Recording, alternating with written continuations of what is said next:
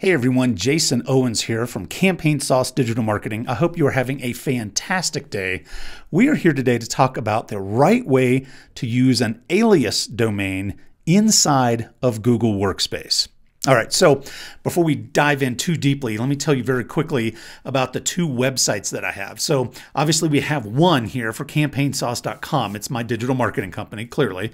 And then the second one that is coming into play here is jasonrowens.com. It's one that I do for some public speaking work. So we'll, we'll dive out to that very quickly and I'll just show you so obviously, here's campaign sauce, right? Straightforward, and uh, you can reach out to me here. I've I have my email address on all my slides, right? That I that I've sent out. Um, likewise, here is my public speaking site that I'm working on reviving. There's there's a lot going on here in the background. I'll spare you the details, but these are the two sites that are really in question. All right, so that gives you the background of where we're coming from.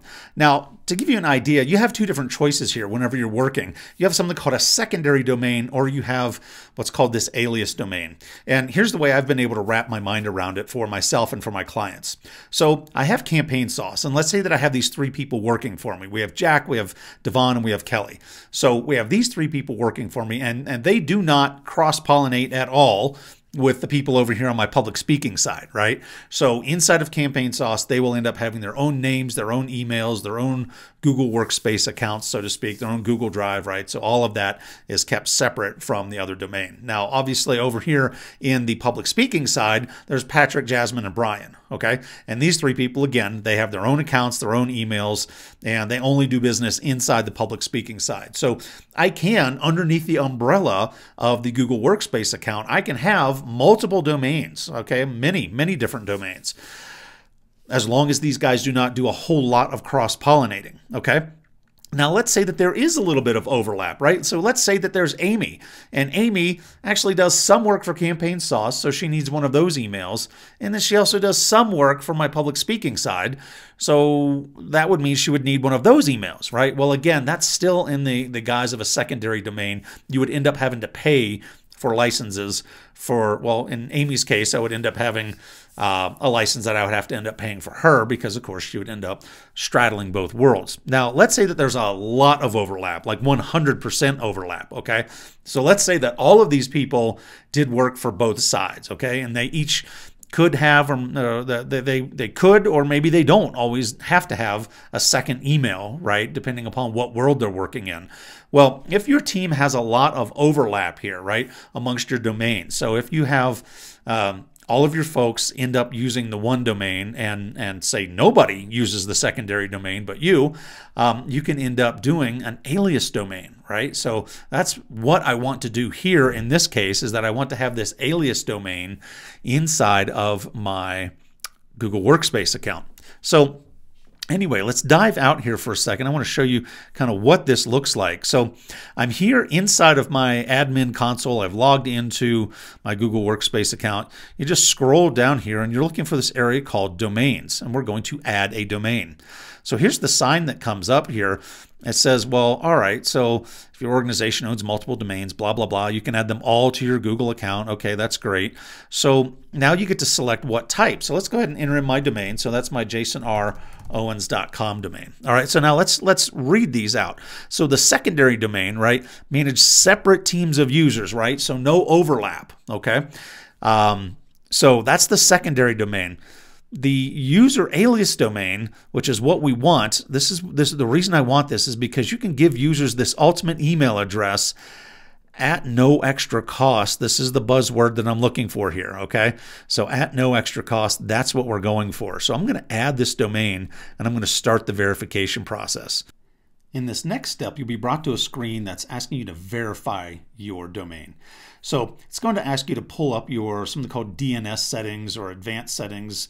Basically what you're looking for is a way to go in and edit your domain name server records.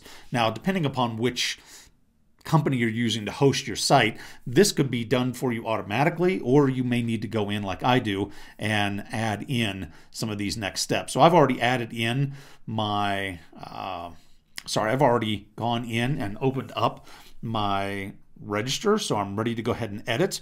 And it's saying here that we need to go in and create a text record. So we're going to copy this stuff over to the clipboard, go over, and we're going to add a text record.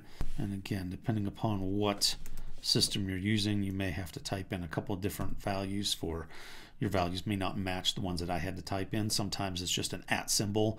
Sometimes the TTL is going to be different.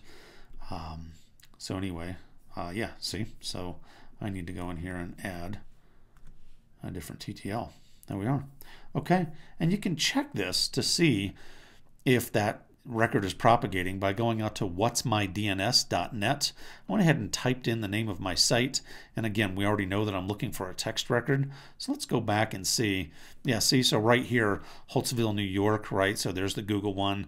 You've got some old parameters stuck in here that I've, I've erased actually before I started recording this video. So um, yeah, anyway, you'll see that the propagation will start. So let's go back to Google now and let's see if this guy uh, will actually work for us. So hit protect domain. It's doing its magic check down here, if you can see down at the bottom. Oh, wow, you can close this page and return later. Five minutes remaining. All right, so we'll start the timer here and uh, see how long this takes. All right, so it took a few minutes there, but we did end up getting the verification. Notice right here, jasonrowens.com is verified. Notice now we have a link that says activate Gmail. So for my campaign sauce, you can see that that Gmail was activated long ago. Let's go ahead and activate the Gmail. Okay, we're going to set up an MX record. Yeah, let's go ahead and do that. We don't want to skip. Yeah, we'll definitely want to go ahead and set up the mail record right now, the mail exchange. All right, so my world doesn't operate automatically. So again, if you're with, say, a GoDaddy, it would probably have done all of this automat automatically for you. Um, so we're going to go ahead back and we're going to basically do that same editing that we did before. Uh, so we're going to look at, we're going to go in here and we're going to add um, some MX records here for Google. Looks like we just have the one that we have to add in. So that's going to be nice. All right, so let's go in and do that. And we need to be right here. We're going to add a record. That's going to be an MX record right here. Uh, priority is one, the destination. We just type in and let's see what was their advice here for our zone name. Host, okay, so it just needs to be my root zone there, which is jasonrowens.com. All right, and we're going to go ahead and add this record and boom okay so it said successfully there. So we're going to pop back over and oh wow okay so we do have extra domains that we need to add in. Uh, all right that's fine. This is pretty standard stuff for Google so we're gonna make sure that we go in and add these so notice the priorities change here. This is priority one and then the rest of these kind of drop down to priorities five and ten. So I'll go through the motions here and add the rest of these in and then we'll come back all right, so I added all of the MX records as promised, and it does in fact look something like this. So you have the MX records, that's the priority one. These two are the priority fives. These two are the priority tens.